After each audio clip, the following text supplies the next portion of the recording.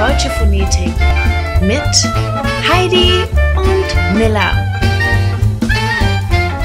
Heidi! Miller! Heidi, Hm, Miller. wie sagt man Ohr?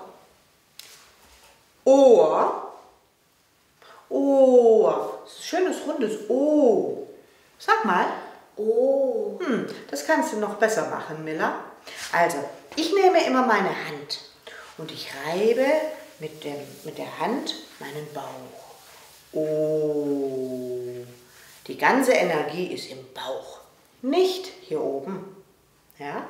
Also nicht, ich komme aus Polen, ich komme aus Polen. Probier mal. Ohr, Ohr. Ohrring. Ohrring. Ja, doch gut. Ja? Ohrring.